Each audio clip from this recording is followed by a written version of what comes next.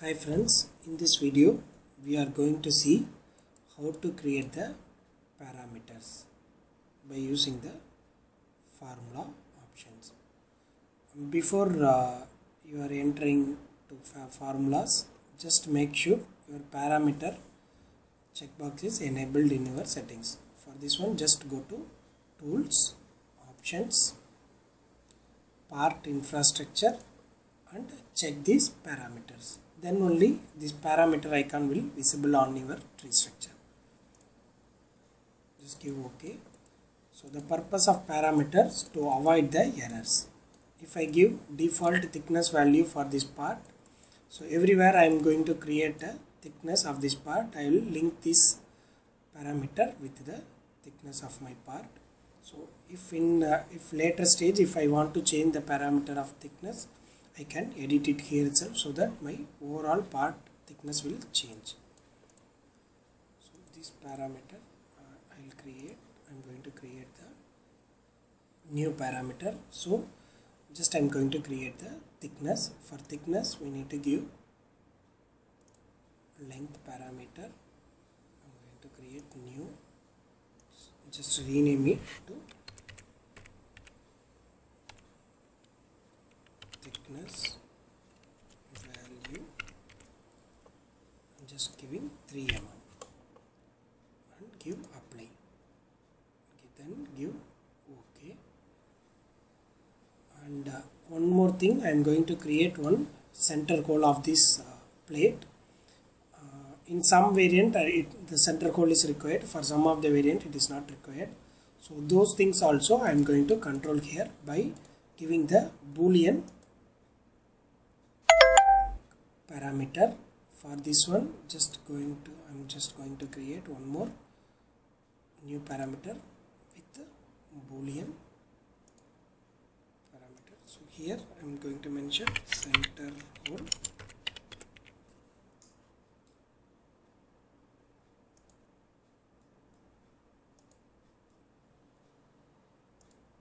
So it is not taking it is showing the length itself. So once again I'm just creating boolean center hole apply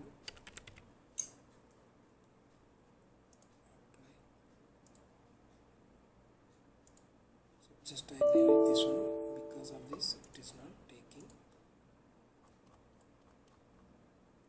So this boolean I'm going to rename it. Apply.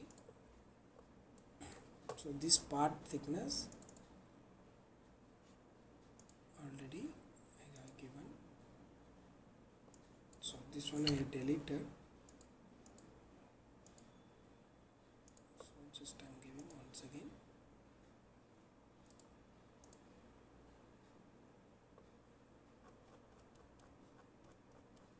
so if you scroll down you can find the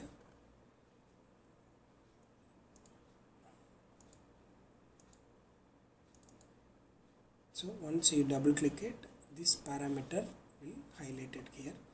Now your thickness is linked with this parameter. If you see it is kind of showing logged you can't edit it here. Just give ok. So this parameter it's defined. Next I'm going to create one wall on the side. So this one already I have created. So for this one just this formula we need to define it as thickness of the part. So this one also I'm just going to select this thickness value. Just double click it. Here it will get activated. Then give ok so this one also you can able to see the formula symbol. So that this value is linked to this thickness value. So, so once I get just I'm doing on pad. So now I'm going to create one center hole for this part so this hole is created. How I am going to control this hole? By the help of parameters I'll tell you. Just click here and go to formulas. Here you can see the pocket activity. So the third pocket 3 is active. So this one I am going to add formula. Just give add formula and then select here the boolean center hole which we already created.